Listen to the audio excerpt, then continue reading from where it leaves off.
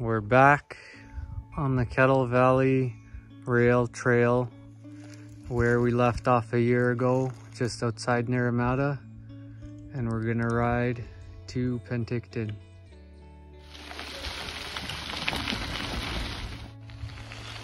We are going along Lake Okanagan. There's Matthew. More nice views of the lake and Penticton.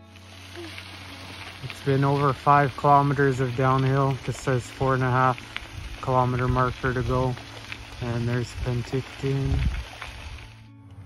We just came from there and we crossed the road. And now we are at the Penticton pump track.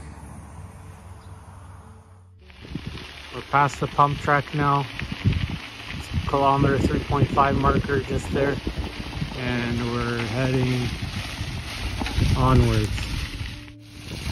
We're on a bridge. View from the bridge and nearing the end of the bridge.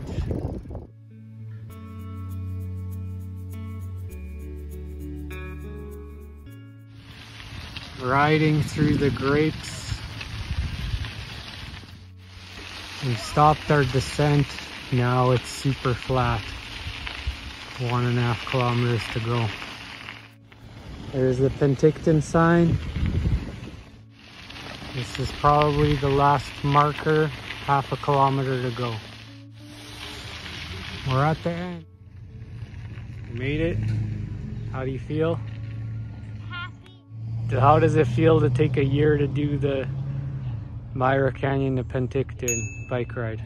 Um, that's very disappointing.